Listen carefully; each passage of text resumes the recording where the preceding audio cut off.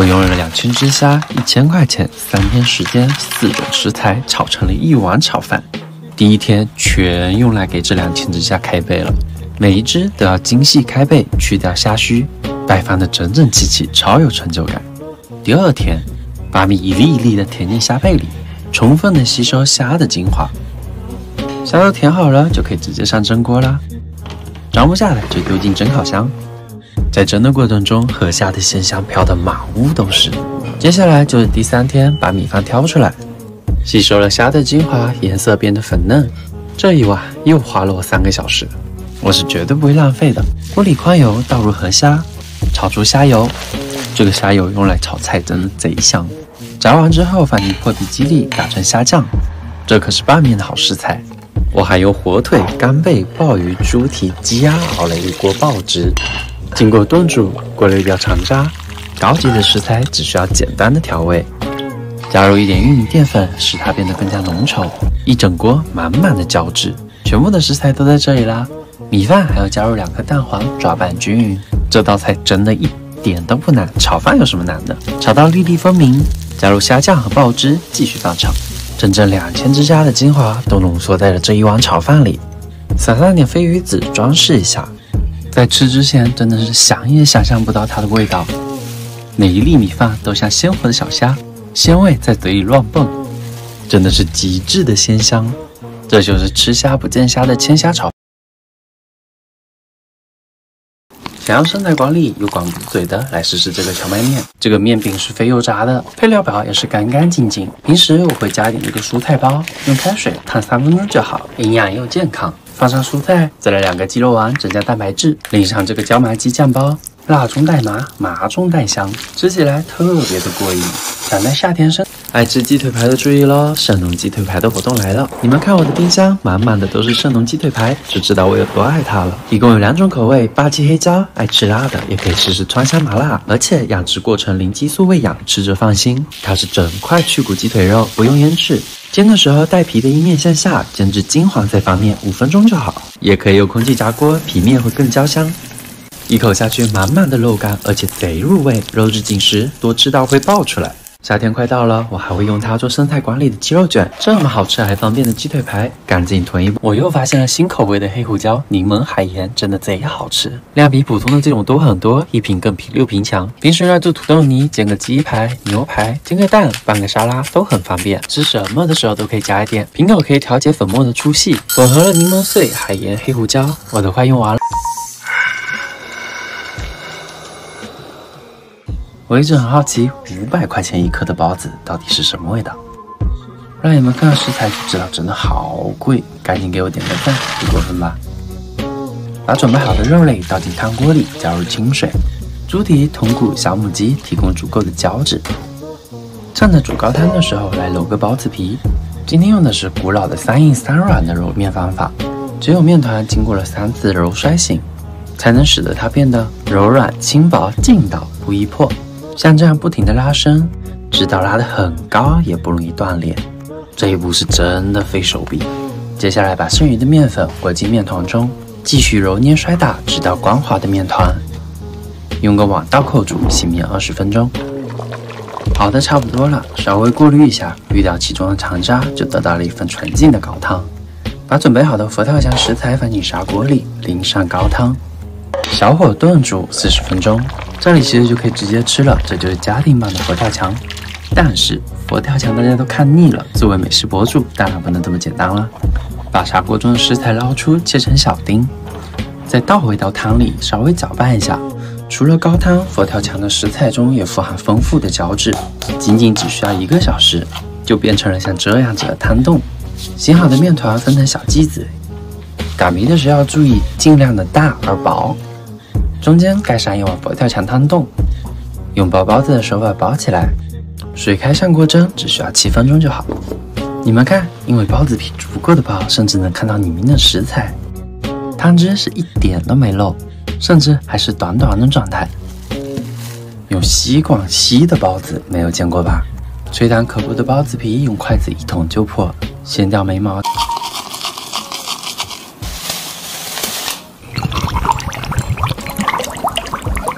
早知道不要出去买啦，在家自己做，五块钱就能做一大盆。今天用电饭煲来做，每个人家里都有吧？简单还方便，真的是有手就行。记住哦，所有的容器和工具都要用开水烫一遍，要不然你就等着长黑毛吧。提前倒一壶开水放凉，糯米蒸的差不多啦。我蒸的比较多，需要盛出来，温度控制在三十五度左右，要不然酒曲一倒进去就被烫死了。倒入提前晾好的开水，搅拌均匀，倒回内胆里，用擀面杖捅个酒窝。切记不要完全密封，放在温暖地方发酵三天。打开保鲜膜就可以看到中间有很多的酒液，稍微的过滤一下就可以装瓶了。装酒的瓶子记得也要用开水烫一遍哦。剩下这些糯米可千万不要丢，这些就是醪糟，可以用来做超多好吃的甜品。第一个来做个米糕，打好的米浆放凉，加入酵母、白糖，静置发酵三十分钟。倒进蒸笼里，撒一点桂花，特别浓郁的大米香气，松软到会回弹的那种。第二道醪糟甜品怎么能少得了我酒酿小丸子呢？香甜 Q 弹，解腻又爽口。第三道，传说这可是以前贵妃吃的哦，而且还特别的简单。牛奶中的蛋白质遇上了米酒的酸性物质，加热之后便会凝固，变成豆花的样子，吃进嘴里细腻顺滑，奶香和乳香完美的融合。这应该是我夏天最喜欢的猪肉吃法了。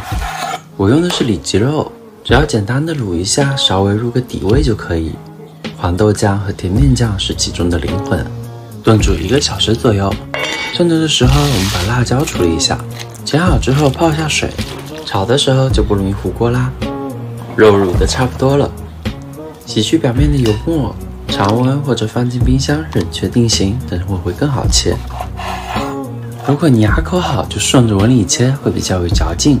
油要稍微多一点，利用高温把猪肉中的水分全部逼出来。我比较喜欢吃炸干一点的，这样口感会比较好，比较有嚼劲。另起一锅油，放入先前准备好的调料。如果比较能吃辣，就像我一样加点辣椒粉；吃不了太辣的，就可以不加。充分的翻炒均匀，让每一片肉上都裹上辣油。看看这油滋滋的表面，能不好吃吗？最后撒上一点芝麻，这个人吃猪肉干真的是麻辣鲜香，片状的会更入味一些，条状的更有嚼劲，里面的肉都是这样一丝一丝的。夏天下班回到家配个小酒，真的是超爽。一次可以多做一点，密封保存就好，炸得越干，保存时间就越久。快，这个娘！把排骨的骨头换成薯条，能有多好吃？清洗过的肋排切小段，放进锅里，煮的时间可以稍微久一点。煮开之后捞出，迅速的过一遍冰水，这样就可以骨肉分离，更好的脱骨啦。但是没有骨头的排骨是没有灵魂的，我准备用土豆来代替，稍微切厚一点，然后切成长条，塞进排骨中代替骨头。洋葱打底，放上青红椒，整齐的码上排骨，香料家里有什么就放什么。盐、生抽、蚝油、两罐啤酒，还有一点清水，没过排骨，小火慢炖，直到排骨完全入味。其实这时候就可以吃了，但是薯条嘛，还是要炸一遍。把排骨铺在案板上，撒上油炸粉，油温升高后再下锅，让排骨的表面变得酥脆，而且紧紧的包裹住薯条，这样口感才好。喜欢吃辣的，撒点辣椒面，也可以用其他自己喜欢的调味料。炸得酥脆的排骨紧紧包裹住了薯条，一口下去，两种口感，外面是略带嚼劲的肉感，里面却是软糯的土豆。快，做给家里人吃吧。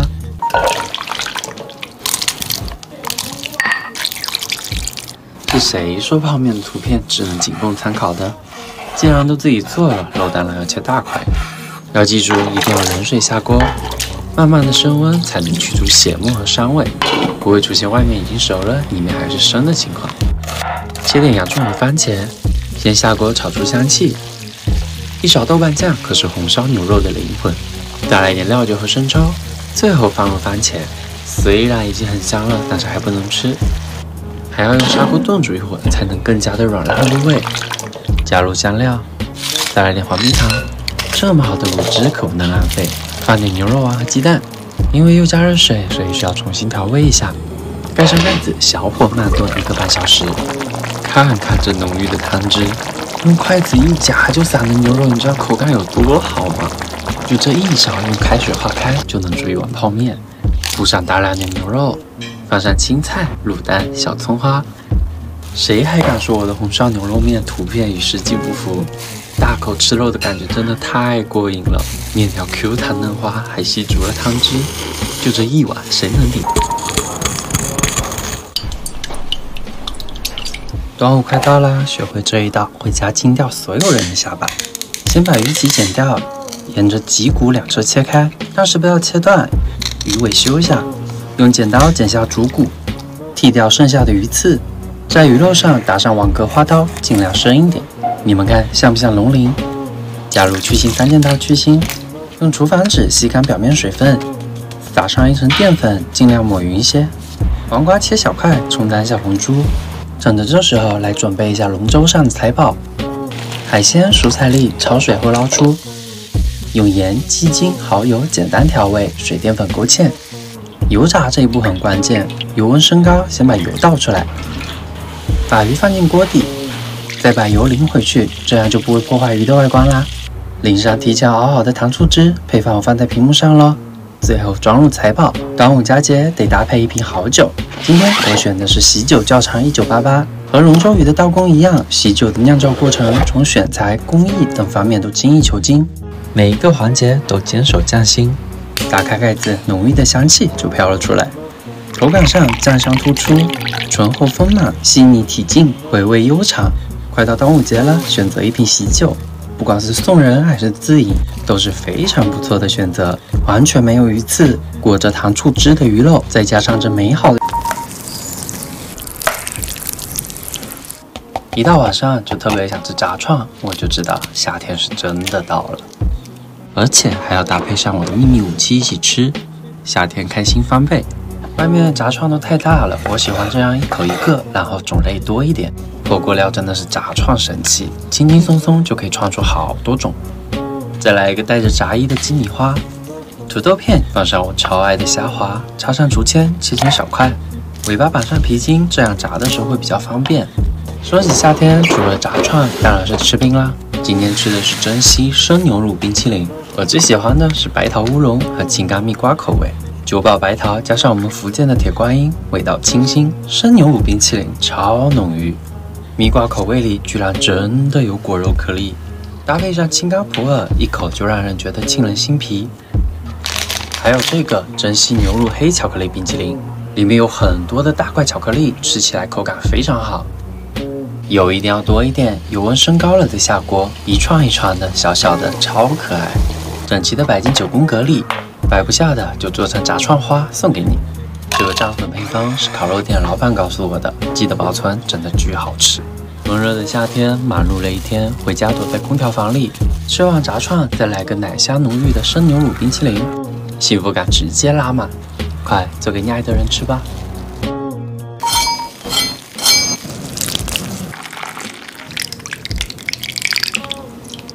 家里吃不完的米饭不要丢，像我这样做。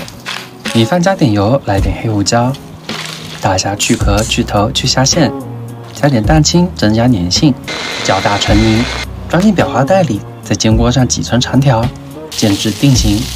再来一碗比我妈做的还好吃的馄饨，四小时熬制的鲜美鸡汤搭配非油炸的馄饨，皮薄肉厚，一颗馄饨一口肉。做法也很简单，把食材丰富的蔬菜包倒进去，加入开水。五分钟，开水一冲就能吃到现煮般的馄饨。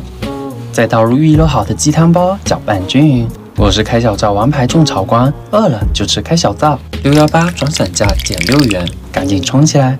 海苔上铺上芝士片，顶部来一点米饭，这样粘的会比较紧。虾条的长度和海苔的宽度一致。把之前拌好的米饭压平，尽量压得扁一些，两边都要包裹住哦。小火慢煎，刷上照烧酱。要煎出锅巴，口感才好。饭团也好啦，给你们听听这锅巴有多脆。来点黑白芝麻，焦香的锅巴中间是流心的芝士，还有 Q 弹的虾滑。再来一口颗颗饱满、吸足鲜美鸡汤的馄饨，快做给你爱的人吃吧。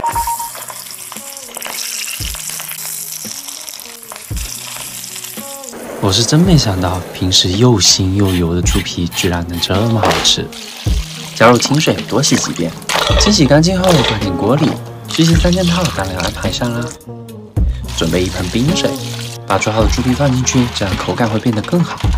看到背后这薄薄的油脂了吗？全部都要刮下来，然后再切成小块，平铺在烤网上，上面再压一层，要不然猪皮受热就会卷起来。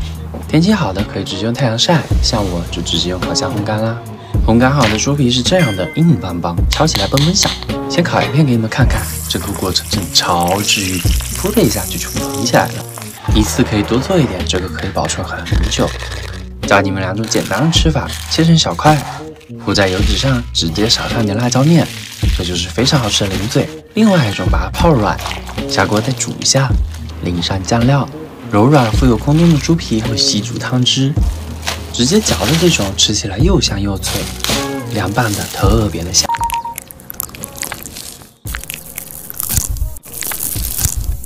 杨梅应该是唯一一种明明知道有小虫子，但是我还愿意吃的东西。刚买回来的杨梅一定要浸泡过盐水，用吸管来去核，大小刚刚好，全部都倒进锅里，稍微的压一压，但是要保留点颗粒感。多余的汁舀出来，后面还有用哦。来点柠檬汁、水淀粉，让它变得浓稠起来，像这样就好了。第二个来做个杨梅芋圆，这样做出来的芋圆不仅好吃，颜色还特别好看。煮芋圆一定要沸水下锅，快速的烫熟，浮起后过一遍冰水，口感会更好。第三个是夏天少不了的冰淇淋，打发的奶油加入杨梅果酱，再次搅拌，铺在碗里，装点几个杨梅果肉。你们也可以用其他水果试试，口感真的很不错。还记得前面的杨梅汁吗？我把它冻成了冰块，用刨冰机搅成沙冰，把前面的芋圆、果酱、冰淇淋搭配在一起，这才是杨梅的真正打开方式嘛。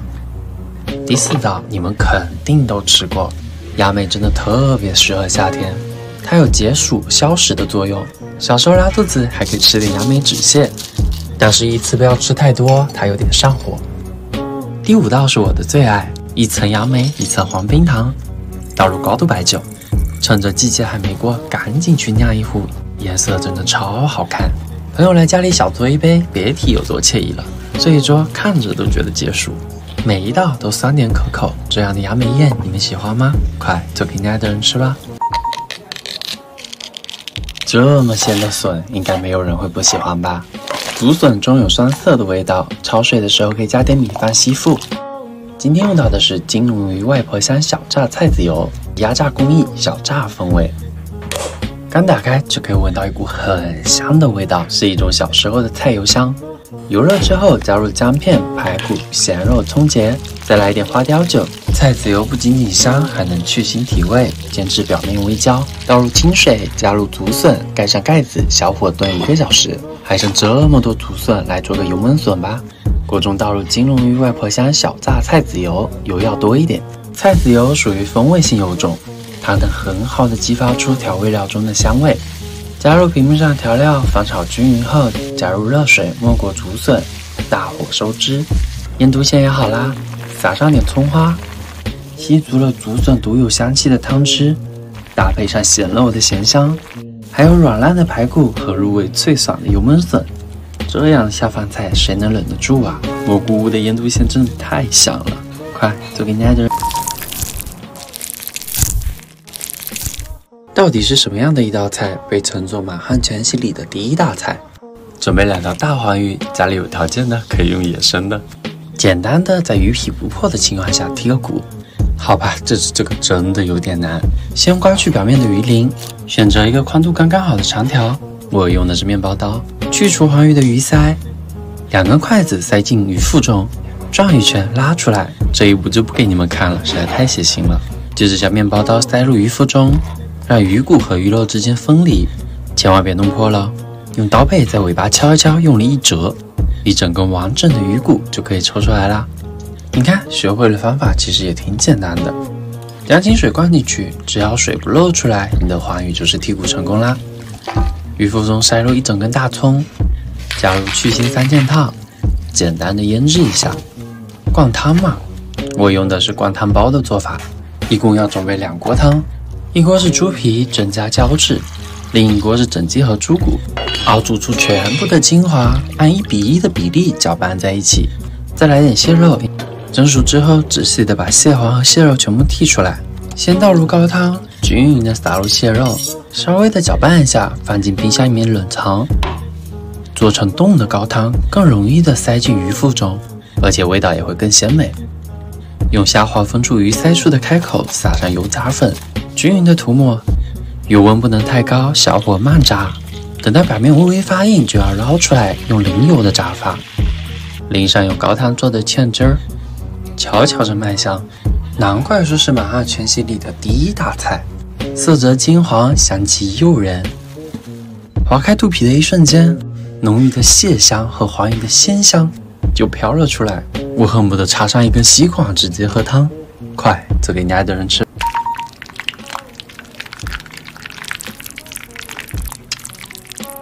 要问我最喜欢什么，当然就是粉丝啦。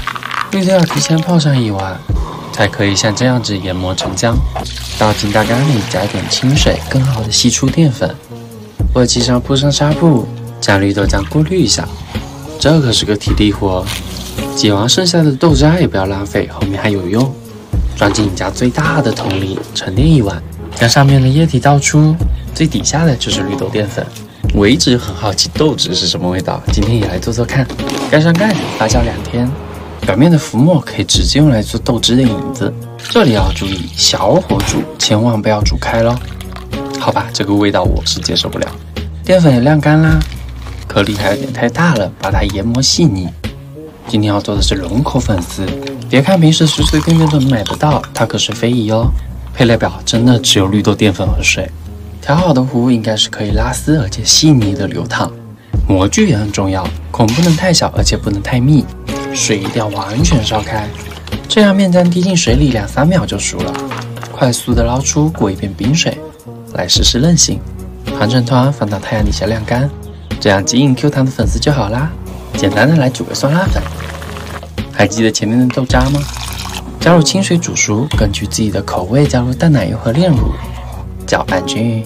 自己做的绿色心情，里面的绿豆口感超密实，Q 弹爽滑的粉丝吸足了热辣的汤汁，搭配一根透心凉的绿色心情，快做给你爱的人吃吧。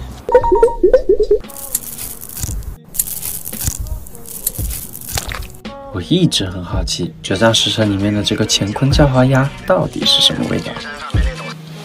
一整只新鲜的鸭，拔毛去头，简单的一个颧骨，真的很简单。我也只用了三只鸭而已。鸭子本身会比较腥点，所以我们要用大量的料酒和姜片腌制一下。我还花了大几百买了一堆的海鲜，因为这道菜并没有过多的调味，仅仅是体现一个鲜字。来熬一锅海鲜清汤，处理好的海鲜带壳下锅炒一下，倒入清水，中小火炖煮两小时。可以看到汤里面很多杂质并不清澈。加入猪肉糜进行扫汤，蛋白质在受热凝固的时候会吸附汤中的悬浮颗粒，使汤变得清澈。剧中说的雪莲，应该说的是皂角米。腌制好的鸭缝起来，仅仅留下脖子的开口，将内馅从这个开口填进去。最后用线绑住，像这样会短短，就说明成功了。表皮还要用开水烫一遍，收紧。烧上用生抽、老抽、蚝油、蜂蜜调的酱料，挤掉风干之后再放入烤箱，一百八十度三十分钟后取出。拿出提前泡好的荷叶，放上鸭子，包的时候要小心，千万不要弄破了。最后覆盖上用水打湿过的盐，全程小火盐焗两小时。敲掉外面已经形成硬壳的盐，打开荷叶的时候，热气就像仙气一样飘了出来。看看这颜色，就知道火候刚刚好。用刀拍一下，肚子里面还是短短的。剪开一个口子，内馅就涌了出来，是不是和电影里面的一模一样？浓郁的海鲜清汤，找找你的鲜甜，荷叶的清香，全部融入在鲜嫩的鸭肉里。